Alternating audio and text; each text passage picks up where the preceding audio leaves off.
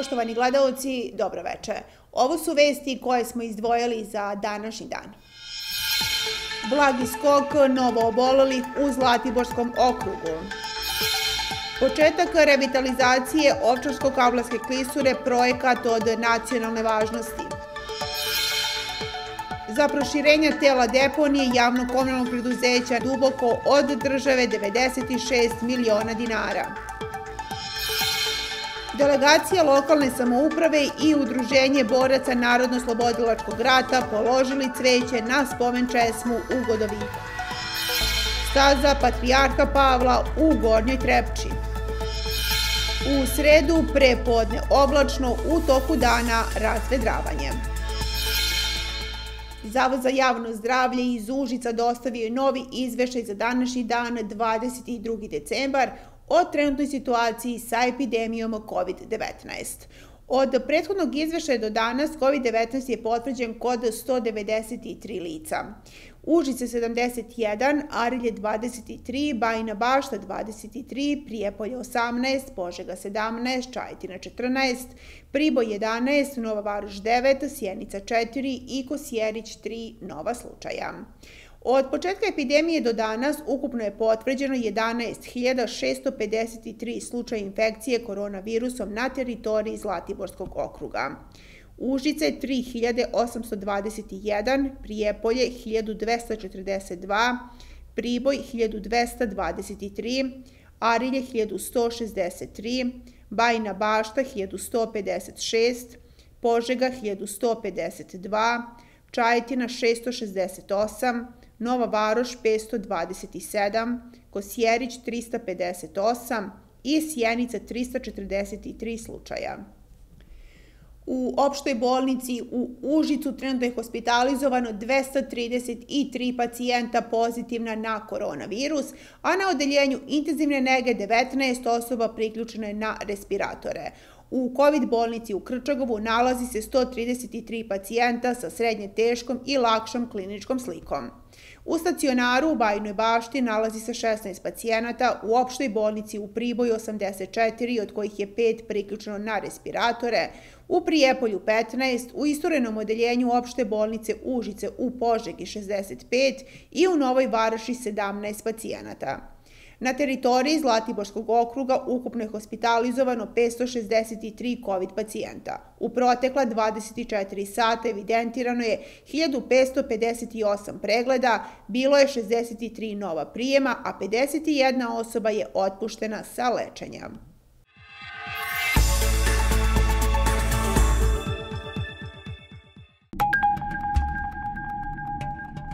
Štab za vanredne situacije opštine Požega apeluje na sve građane da obavezno nose zaštitne maske u svim, a posebno zatvorenim prostorima, da strogo poštuju mere međusobnog distanciranja na otvorenom, a posebno svakom zatvorenom prostoru i da dodatno pojačaju higijenske mere, posebno pranje ruku.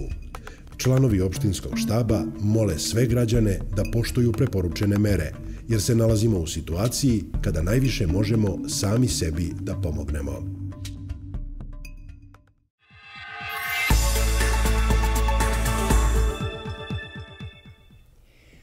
Predsjednica vlade Republike Srbije Ana Brnabić najavila je juče realizaciju nekoliko projekata koje će dodatno zaštititi i preurediti područje Ovčarsko-Kablarske klisure.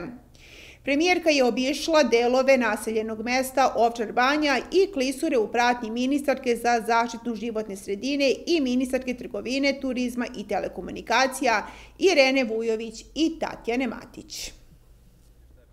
Predsjednica vlade Ana Brnabić je prilikom posete Ovčarsko-Kablarskoj klisuri rekla da se završetkom izgradnja autoputa od Preljene do Požege potpuno izmešta saobraćaj iz klisure, čime se stiče uslov da ne samo na papiru klisura postane zaštićeno područje izuzetnih odlika, prirodno dobro prve kategorije, podsjetivši da je u prethodne tri godine vlada Srbije uložila značajna sredstva u ovo područje.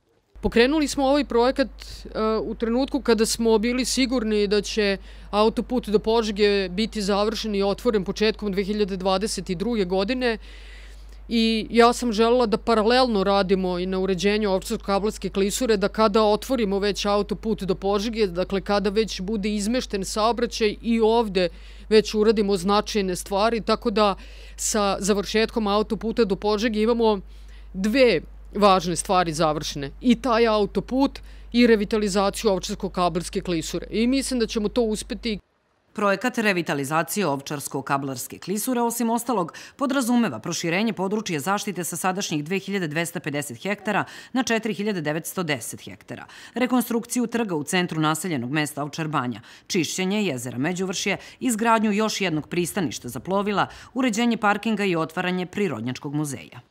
To su samo neke od stvari koje su kratkoročnije i onda imamo sve ono dugoročno što mora da se radi, u šta mora, moraju da se ulože značajna sredstva, ali ta sredstva mi moramo da uložimo. Ne samo zato što je to važno za turizam, a važno je za turizam i ovo jeste jedan od najlepših predela Srbije, već i zato što je to naša dužnost, kao što sam rekla, naša dužnost prema prirodi, životnoj sredini, ali također naša dužnost prema našem istorijskom i uh, tradicionalnom i verskom uh, nasledđu. Na realizaciji projekta radit će tri ministarstva. Ministarstvo za zaštitu životne sredine, Ministarstvo trgovine, turizma i telekomunikacija i Ministarstvo za infrastrukturu u saradnji sa gradom Čačkom. Ono što je važno napomenuti jeste da je Ministarstvo zaštite životne sredine predložilo da se polje zaštite proširi. Dakle, sa sadašnjih 2250 hektara bit će prošireno na 4910 hektara, što govori u prilog tome da izuzetno ćemo morati da obratimo pažnju na unapređenje životne sredine. Mi znamo da se ovaj predeo od izuzetnih odlika suočavao sa mnogobrojnim problemima u prethodnom periodu. Dakle, sa otpadom, sa nelegalnim lovom i ribolovom. Dakle, ono što je pred svima nama jeste e, svakako važnost poštovanja zakona. Prema njenim rečima, u prvom kvartalu naredne godine očekuje se usvajanje uredbe o proširenju ovog zaštićenog područja. Ministarka Tatjana Matić ocenila je da područje Ovčarsko-Kablarske klisure zaslužuje da bude simbol Srbije kao turističke destinacije u narednom periodu i da će svi dati doprinos da ova, kako istakla, kraljica srpskih predela konačno dobije ruho kakvo zaslužuje i kakvo joj pristaje. Naš cilj je da nastavimo pre svega sa ulaganjem u turističku infrastrukturu. Mi smo i u periodu od 2015. do 2020. godine u ovaj kraj u različite razvojne projekte uložili 58,7 miliona dinara. Sada smo odvojili, odnosno namenili 34 miliona dinara za izradu pristaništa i trga u Ovčar banji i nastavit ćemo pre svega da razvijamo tu turističku infrastrukturu, da radimo na digitalizaciji turističke ponude Republike Srbije i na rebrediranju Srbije kao turističke destinacije, a sve to u cilju da Srbija ponovo eh, bude na onom mestu na kome je bila pre COVID krize, odnosno jedna od najbrže rastućih turističkih destinacija u ovom delu sveta. Gradonačelnik Čačka Milan Todorović je podsjetio da je vlada Srbije u Ovčarsko-Kablarsku klisuru do sada uložila oko milion evra. 57 miliona dinara za uređenje korita Zapadne Morave, koja nam je zaista puno pomogla u prethodnim godinama da se spreče sve one nepogode koje su se dešavale u prethodnim godinama, to su, kao što znate, poplave. Takođe i dosta novca, od milion evra, 50% sredstava vlada Republike Srbije preko ministarstva privrede investirala u saobraćajnicu dugu 2,5 km od Ovčar banje do Vidikovca na Kablaru. Očekuje nas još negde oko 2 miliona evra da bi taj projekat u potpunosti završili. 50% naravno investirao grad Čačak. Prema Todorovićevim rečima, u 2021. nastavljaju se započeti radovi u samoj Očarbanji, a u planu su i nove investicije. Očekuje nas izgradnja RH centra u okviru naše opšte bolnice u Čačku, što je velika, velika stvar za sve ljubitelje, pre svega i one ljude kojima je neophodna medicinska pomoć. Očekujemo da veoma brzo vlada usvoji proširenje zaštićenog područja na 4910 hektara, što nam zaista kada završimo saobraćajnicu autoput Preljina Požega, ovaj deo ovih skoro 5000 hektara ostaje kao oaza oaza mira i lepote, uživanja naravno i rehabilitacije. Prema podacima Resornog ministarstva, regija Zapadne Srbije jedna je od najatraktivnijih koji u godišnje poseti preko 475.000 turista, a samo Ovčarsko-Kablarsku klisuru preko 200.000 ljudi godišnje. Uredbom vlade Republike Srbije iz 2000. godine Ovčarsko-Kablarska klisura proglašena je kao zaštićeno prirodno dobro prve kategorije, predeo izuzetnih odlika. Zaštićeno područje se prostire na 2250 hektara, od čega je 1700 hektara na području grada Čačka, 550 na području opštine Lučani. Premijerka, ministarke i gradonačanik su obišli pristanište za plovila u Međuvršju. Program poslovanja javno-komunalnog preduzeća Duboko za 2021. godinu akcijno će biti stavljen na povećanje procenta reciklaže komunalnog otpada kao i na investicijama. Tako će u narodnoj godini početi radovi na stabilizaciji i proširenju tela deponije. Za ovu namenu preduzeće od države dobilo 96 miliona dinara. Ono što u 2021. godini e, vezano za naše preduzeće nije, nije na odmet da znate, mi pokušavamo da što više otpada koji dođe kod nas, da se što manje odloži na deponiju, znači moramo kroz centar za selekciju reciklira, izdvojiti reciklabilne materijale, a deo materijala koji izađe iz centra za selekciju da ne ode na deponiju, Za sada imamo dve cementare koje to povoljno nas prate, to je cementara u Beočinu i Popovcu, iako su jako daleko od nas, mi uspevamo da ih snadbevamo sa tim ostatkom, tako da u ovoj godini 10,7% od ukupne količine otpada neće biti odloženo na deponiju, već će biti, da kažem, ili prodato kroz recikapljene materijale ili predato na cementare, a to u apsolutnom, kad pogledate iznosu, znači negde oko 9000 tona. Znači, skoro dve opštine mi uspemo da e, ne odu na deponiju, nego da se na drugi način reše, baš iz razloga što e, ovde kroz ovaj program ćete i videti da nam je okosnica ove godine nastavak radova na proširenju deponije. Što se tiče našeg finansijskog plana, ovde je dat prihodi i rashodi, može se videti da kroz prihode i rashode preduzeće u ovome momentu sa ovakvim, sa ovom cenom koja je nepromenjena već unazad 3-4 godine, Eh, će biti sa negativnim poslovanjem u gubitku. Nadamo se da će u ovoj godini doći do nekih, da kažem, usaglašavanja sa osnivačima i da ćemo ovo pitanje koje smo započeli već unazad dve godine i, i rešavati zajednički. Kada je pitanju investicije u 2021. godini, e, ono što je bitno za opštinu Požega, mislim da će ipak se pomerivo, došlo je do ovaj i određenih srstava koja su stigla za projekat transfer stanice. Transfer stanica je za sada opredeljena u Godoviku, da li će to i konačno ostati, mi to smatramo da jeste, da je možda i rešenje koje je pokušao, evo ja sam već osam godina u ovom preduzeću, pokušavalo se tražiti neku drugu lokaciju, verujte da je teško doći do tih lokacija i negde gde se krene sa odlaganjem otpada, tu se izgleda najlakše može dalje e, tražiti kroz sve e, one, da kažemo, projekte koji se tu mogu širiti, to da je to ta lokacija, kao što je, vidite, i duboko, i deponija duboko na teritoriji grada Užica, u datom momentu je došla gore, vidite i non stop se priča, e, širi, da li će možda jednoga dana doći Prijepolje, Priboj, verovatno možda da, nismo mi srećni koji verovatno u Užicu živimo i rekli bi pa zašto deponija, zašto nešto drugo, ali ti regionalni sistemi su takvi, takvo ih je država e, naprava koncept i mislim da će se oni tako i širiti. U ovoj godini mi imamo, da kažem, e, nastavak radova na proširenju tela deponije da bi obezbedili dovoljno kapaciteta i za to smo na pre prošloga petka, ako ste pratili, preko grada Užica dobili 96 miliona za proširenje, koja su već juče uplaćena na grad Užice, danas će već biti ići na javno komunalno preduzeće Duboko, ona su namenska sredstva za proširenje deponije, tako da će u ovoj godini doći do toga eh, početka radova na proširenju i time da dođemo do, da kažemo, dovoljno kapaciteta da ova deponija može da ovih svojih devet osnivača, osnivača koji su prvoga dana uh, obsluži i da imaju dovoljno prostora za odlaganje otpada negujući tradiciju da se ne zaborave pale žrtve i poginuli borci u drugom svetskom ratu. Na spomen česmi u Godoviku cveće su položili delegacije udruženje boraca kao i lokalne samouprave. Srbija je samo u toku 20. veka bila primorana da nekoliko puta vodi žestoku borbu za slobodu svojih naroda.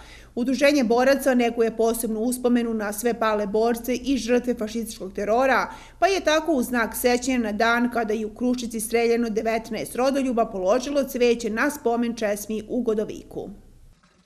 Udruženje boraca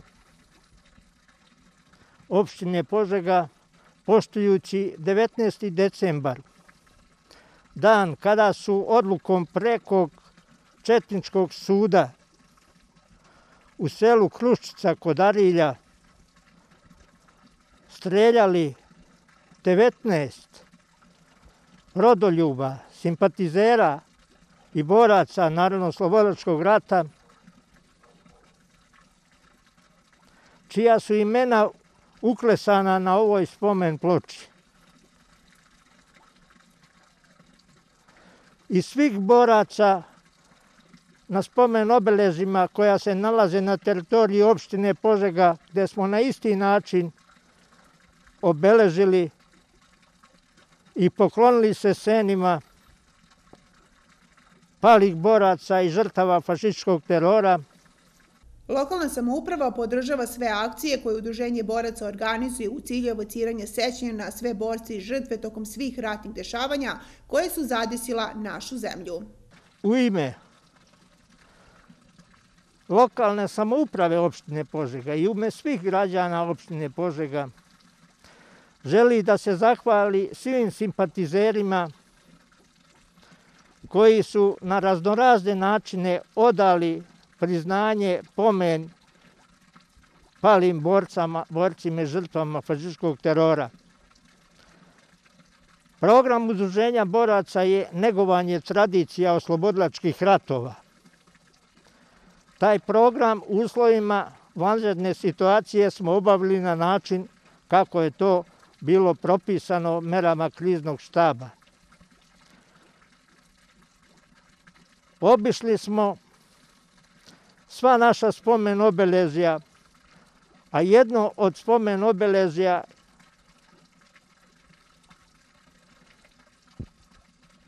i poklona slobode od tih boraca je i ovo spomen obeležje ovde. Na spomen česmi u Godoviku cveće je položio predstavnika predsjednika opštine Đorđe Nikitovića Dragan Petronijević koji je istakao značaj negovanja uspomena na heroje naše domovine. Lokalna samuprava je spremna da podrži, kao što je predsjednik udruženja boraca malo pre rekao, sve manifestacije i sva obeležavanja dana dana kada, kada obeležavamo pomen na te naše heroje koji su dali živote za slobodu Srbije, Jugoslavije, Srbije i opet Srbije i tako dalje. Ovaj, bez e, političkih nekih konotacija bilo čega drugog, znači svi oni koji su dali živote za slobodu naroda i za sve ostalo, mi, mi, mi im dugujemo zaista večnu zahvalnost i, i, ovaj, i tu smo dok smo živi da im odajemo priznanja i za, za njihove zasluge koje su dali i za živote koje su položili. Druga stvar, malo pre Milan pomenuo, predsjednik udruženja, da lokalna samuprava podržava održavanje ovih spomenika. Da, mi smo i prošle godine, Milan to zna, a i ovoj godini, uh, u stvari smo planirali u budžetu sredstva za uh, revitalizaciju svih spomenika ovaj, palim borcima na teritoriji opštine Požega. Ja koliko znam Milane, mislim da ih ima oko 30, je tako, na našoj teritoriji. Znači, planirano su sredstva, sprovedena je javna nabavka, sve je završeno i u toku iduće godine bit će realizovano sve, te, sve to i ovaj, urađeno, sređeno i na neki način dovedeno u red da bude to pristojno i kako treba da bude. Druga stvar, ovaj, e, ja sam ovaj došao kao izaslanik predsjednika opštine, e, on podržava isto također ovaj, sve ovo, nemamo nikakav problem i ne samo on, nego i svi prethodni predsjednici koji su bili, Uh, pošto ja pamtim dugo, kažem, dugo sam tu, nismo imali nikad nikakvih problema, pogotovo ne sa ljudima iz Saveza boraca, jer oni su zaista ljudi koji pokušavaju da, da održe tu tradiciju i da, da, da na neki način doprinesu u tome da to sećanje na te ljude ne izbledi. Poseban značaj ovakvi događaj i treba da postaknu i mlade generacije da spoznaju svoju istoriju i nastave sa negovanjem tradicije. Pa jako je bitno, međutim nisam siguran da mlade generacije uopšte ovaj, su upućene u celu priču. Možda smo mi zato krivi, mi stariji, zaista, zato što ih nismo na vreme edukovali ili ovaj, na neki način uputili u to da jednostavno dati život za slobodu i za, za, za svoj narod nema ništa veće, niti ima veće na kažem časti, niti obaveze, niti bilo čega drugog. Ovaj, mnogi ljudi su izginuli, nećemo pričati o ratovima koji su događali u nas za 100 godina, svi znamo koji su, ali zaista ova Srbija je bila desetkovana, na takvom smo valjda mjestu pa smo morali nekako stalno da ratujemo. Desetkovana i u, i u stanovništvu i u naraštajima mladim i svim ostalima vidjet ćemo najbože da ne bude rata nikad više. Sve ovogodišnje manifestacije polaganja cveća na mnogobrojne spomenike u našoj opštini su dosta redukovane i odvijaju se uz primjenu propisanih zaštitnih mera. Iz udruženja boraca posebno ističu zahvalnost lokalnoj samoupravi koja je dala punu materijalnu i moralnu podršku svim manifestacijama koje organizuje boračka organizacija. Signalizacija za pešačko-planinarsku stazu Patrijarha Pavla postavljena je na planini Vujan. Duga 7 km staza se proteže od turističkog centra Atomske banje Gornja Trepča do manastira Vujan. Dugo je staza koja je, kako se pripoveda, pomogla da se izleči Gojko Stojčević, koji je kasnije nastavio monaški put i postao Patrijarh Pavle, bila neprohodna.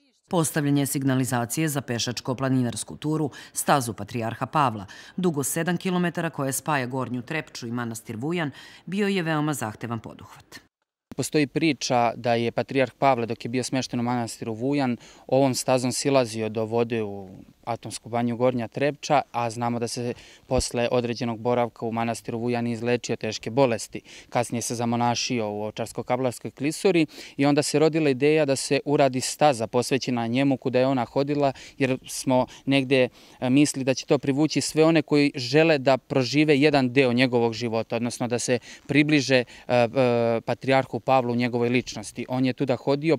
Kako kažu u turističkoj organizaciji, uz praćenje orijentacijonih informativnih tabli, preostaje samo uživanje u prirodi, te će ovo svakako obogatiti turističku ponudu grada na Moravi. Staza Patrijarha Pavla je obeležena pre par dana. E, sve više i više naših sugrađana i posjetilaca e, pohoduje pešačkom stazom do manastira Vujna, pa smo mi izašli u susret, što kažu, zainteresova privrednim subjektima koji posluju u Atomskoj banji Gornji Trevča, na njihovu sugestiju da obeležimo tu stazu i mi smo pristupili realizaciji tog projekta i samim tim smo i obogatili malo i upotpunili turističku ponudu same banje i čitavog prostora. Na stazi Patrijarha Pavla na planini Vujan u planu je i postavljanje tematskih tabli sa citatima mislima Patrijarha Pavla. Ono što je planirano da se i naredne godine uradi potpuni mobilijar staze, da se okače e, table sa mislima Patriarka Pavla, da se naprave odmorište, da to bude jedna stvarno uređena staza gde možete bukvalno provesti ceo dan u šetnji, odmorima, izletu sa e, prijateljima i porodicom. Za one koji su malo, da kažemo, e, više posvećeni biciklizmu, ova staza je idealna za mountain bike i za nekog ko je spreman na izazove. Biciklom se može ovom stazom proći i stići skroz do manastira Vujan, tako da sve one koji možda nisu bili u Atomskoj banji Gornja Trepča, evo još jednog povoda da dođu, da vide banju i da prođu jednom čuvenom, ja se nadam u buduće, stazom Patrijarha Pavla. Patrijarh Pavle tokom drugog svetskog rata boravio je u manastiru Vujan, a posle diagnostifikovane bolesti pluća, kada su mu lekari prognozirali tri meseca života, šetnja Vujanom, banjska voda i manastirski mir, pomogli su mu da se izleči. U znak zahvalnosti izrezbario je i poklonio manastiru drveni krst sa raspećem.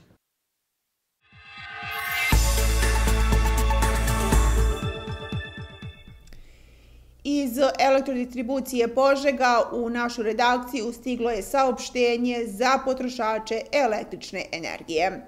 Obaveštavaju se potrošači električne energije da će zbog planiranih radova na dalekovodu 10 kW Dobrinja dana 23. decembra doći do prekida u isporuci električne energije u vremenu od 9 do 14 časova u Gornjoj Dobrinji, Srednjoj Dobrinji, Vršeljima i delu Donje Dobrinje i Duškovaca. Eventualno ranije uključenje električne energije će se vršiti bez posebne najave. U slučaju loših vremenskih uslova radovi će biti odloženi. Unaprijed zahvaljujemo na razumevanju i za kraj večerašnjih vesti vremenska prognoza. Sutra ujutru u prepodnevnim satima umereno do potpuno oblašno uz moguću pojavu magle. U toku dana razvedravanje i porast temperature, vetar slab i umeren, zapadni i jugozapadni. Najniža jutarnja temperatura od 2 do 5, a najviša dnevna kretaće se u intervalu od 10 do 13 stepeni Celsijusa. Poštovani gledalci, ovo bi bilo sve što smo pripremili za večerašnje izdanje naših vesti. Hvala vam na pažnji i prijatno večer.